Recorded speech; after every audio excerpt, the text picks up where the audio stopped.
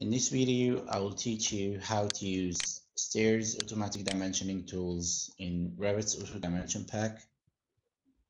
We are going to create some callout plans and sections for stairs first, and then we're going to place our dimensions. Of course, you can go right ahead and use the dimensioning tools in the normal plan view and section view, but for this instance, we're going to create callout first. I'm going to use a scale of 125 for our callouts. Select the stair callout plans tool. Select all the stairs you wish to create callouts, callouts for, and then click finish. In the section view, repeat the process with the stair section tool. I'm going to use the same scale 1 to 25 and now we have our section callouts for stairs.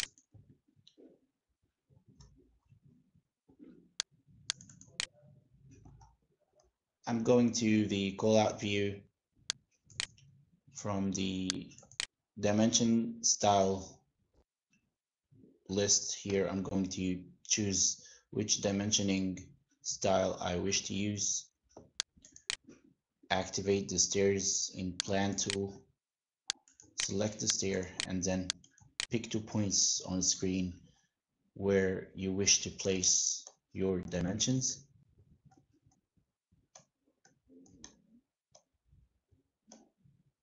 The picked points should be in order in the same order in the same direction for the stairs up direction. Of course, you can also dimension the stair run or landing width. Press escape when you're finished. If you wish to dimension stairs with equation, you can do so from the configuration panel. Select dimension stairs with equation. Click OK. Activate the tool and follow the same steps. And now stairs will be dimensioned with an equation number of treads the lengths for each tread and the total.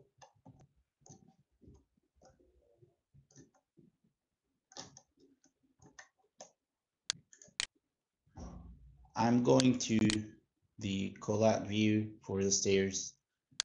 You can use the stairs section tool. Pick a stair and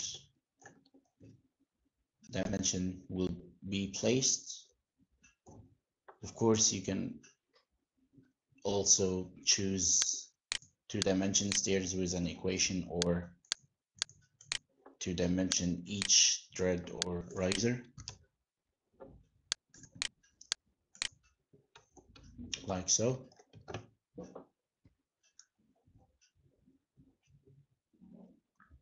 Going back to plan views, there's also a tool you can use to place landing elevations automatically. This will be very handy in stairs that have multiple landings